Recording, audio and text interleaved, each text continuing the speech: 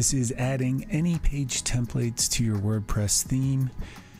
Uh, I wanted to make this video because I used to use Astra starter sites and that installs an entire template. But now you can install individual page templates with Spectra. If you go to plugins, add new, search for Spectra, that is the plugin that will give you the option to install all of these page templates. So once you install that and you go to pages, add new, we'll just call this uh, Spectra template 2 since I already did it once. And all you have to do is click this template kits up at the top and you can see there's quite a few to choose from click the theme or the style that you like and then there's individual pages that you could do for your whole site. I'll just choose uh, the home page and then click import. The one thing about these page templates is that it adopts your theme's font and some of the other styles.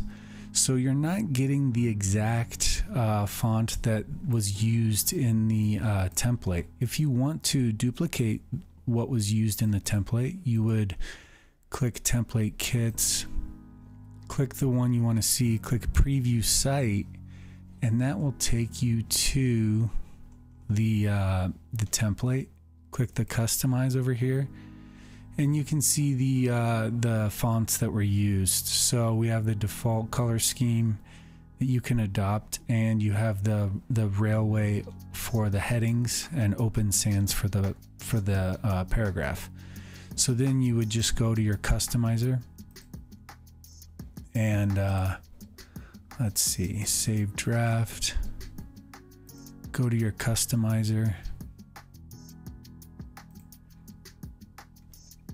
And then we would go to global typography or wherever you might find your fonts. The body was open open sans.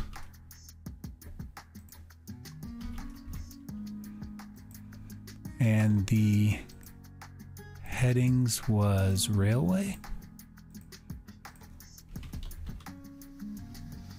So that at least gets you going on uh, duplicating it. You can also uh, do the the semi bold or the bold or whatever it was.